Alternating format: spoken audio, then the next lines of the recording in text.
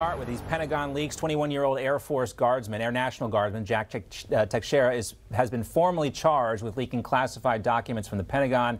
He made his first court appearance in Boston today, where the judge ordered him to remain in jail one more week until at least until his next hearing. Well, also, uh, we know that he was picked up yesterday again at his home in Dighton. These are some sketches from inside the courtroom. As he entered today, John, he was in shackles. As those charges were read, his father reportedly also there and shouted, I love you, to which he answered, Me too, Dad. Officially, the charges read like this unauthorized detention and transmission of national defense information and unauthorized removal of classified documents and defense materials. He is believed to be the leader of an online chat group where these documents were first posted, and they lived online for months before anyone knew about it. Now, he first joined the Air National Guard in September of 2019, according to the Defense Department. His official job was Cyber Transport Systems Journeyman, and then he was promoted to the rank of Airman First Class.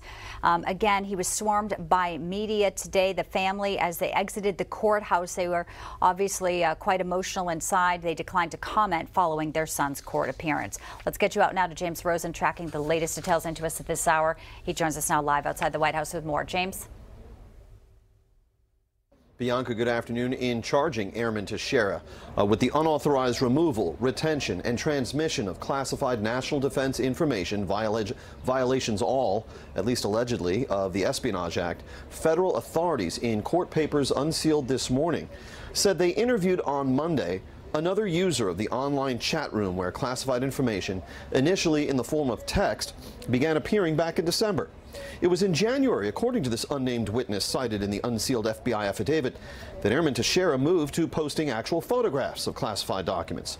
According to the witness, Teixeira, quote, had become concerned that he may be discovered making the transcriptions of text in the workplace. So he began taking the documents to his residence and photographing them. I want to emphasize that this was a deliberate criminal act to violate those guidelines and rules in the same way that if you locked your front door and somebody came into your house and took something, you you followed your procedures and you locked your door, but somebody went in your house and took something and put it out on the street. That's what we're talking about here. Classified material. In the court papers unsealed today, the FBI said internal logs showed Teixeira having access to the materials posted online, that agents used billing records from his social media accounts to track him to his physical address, and that the unnamed witness in the case positively identified Teixeira from a photo lineup that included Teixeira's driver's license photo. The Bureau said Teixeira held a top secret security clearance and that on April 6th, the day this case was first reported by the New York Times, Teixeira used his government computer to search classified intelligence reporting streams for the word leak. Seemingly worlds away, President Biden this morning toured the sanctuary of Our Lady of Knock in County Mayo, strolling a basilica that featured a mosaic depicting the apparition.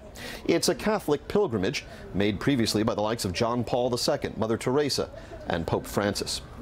Now, on the one hand, the arrest here removes some of the political pressure that had mounted against the Biden administration in the clamor for some answers in this extraordinary case. On the other hand, the prosecution of Airman Teixeira promises to keep the contents of the leaked materials in the news, all without answering the main question that now looms over this affair, namely why the defense secretary and the other top brass at the Pentagon only learned of this case on April 6th, when, according to these new charging documents, the breach first began occurring back in December. Bianca. That timing is certainly suspect. James Rosen live for us at the White House. Thanks, James. With us now to talk more about this, senior fellow at the Heritage Foundation and Trump's former deputy national security advisor, Victoria Coates, also with us.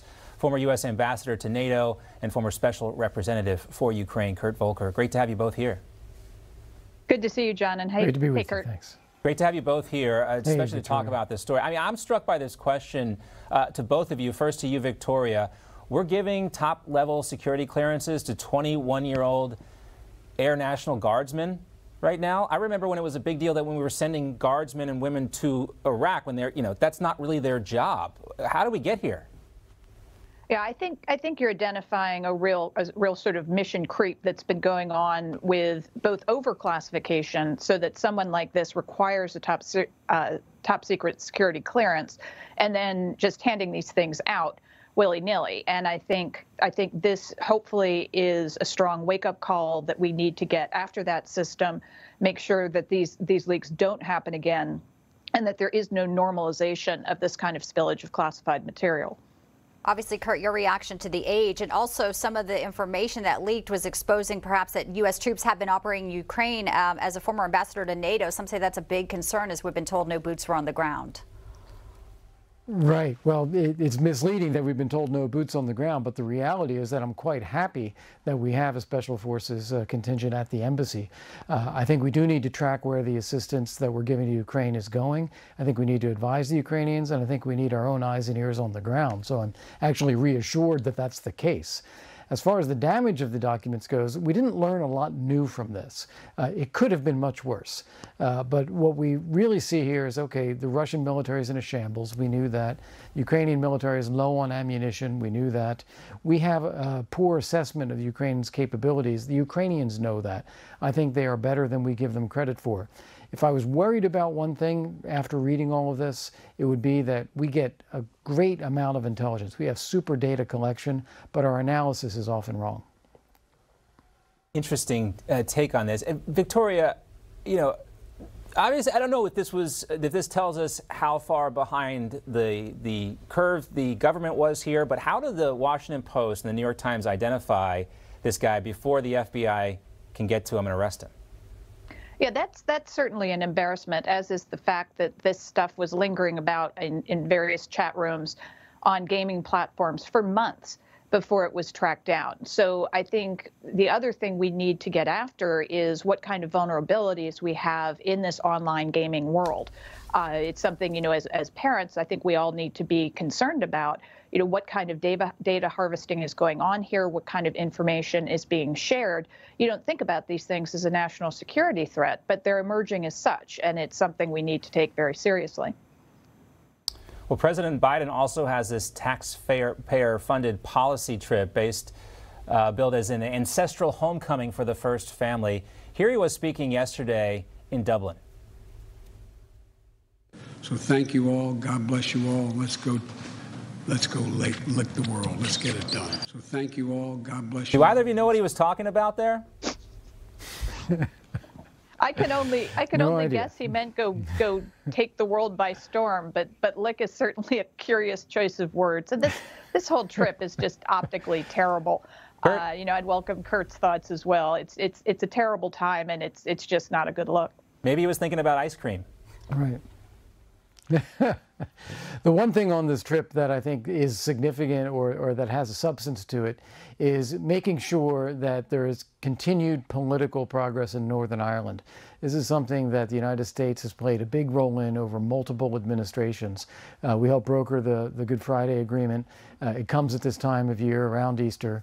And so to show continued interest in that and support for that so that you don't face a return to violence in Northern Ireland, that's a positive thing. But the rest of it, as you say, it's, it's, uh, it, it's just a visit to uh, a nice place.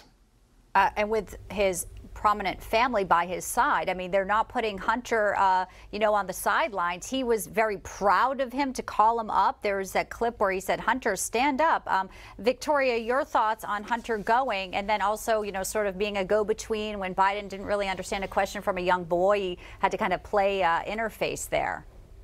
It's it's really incredibly tone deaf, Bianca. I mean, we we've had reports over the last day or so that that Hunter Biden's firm, Rosemont Seneca, uh, was was actually soliciting the government of Ireland when Joe Biden was vice president for for business. So this is a place where he has tried to capitalize off his family name. Now he's flying in on Air Force One, taking who knows what meetings uh, on the sidelines of, of this trip, where we don't have a very tightly buttoned down schedule and you know it just it looks terrible and i think the american people would like to know why why the president of the united states was having an elaborate banquet at a castle in dublin last night you know how does that serving our national security interests and it stands in stark contrast with what chairman xi is doing in china right now sure does family vacations that so many Americans uh, will not be affording as well due to our historic inflation. So many optics here that are just mm -hmm. negative. Victoria Coates, Kurt Volker, thank you both. We appreciate your time. Thank you. Thank you. All right, former President Trump set to headline the start of the National Rifle Association's annual meeting. It's today, 4:30 in Indianapolis. You can watch it here. But this comes after Trump spent nearly seven hours yesterday during a second deposition. We told you about the legal battle.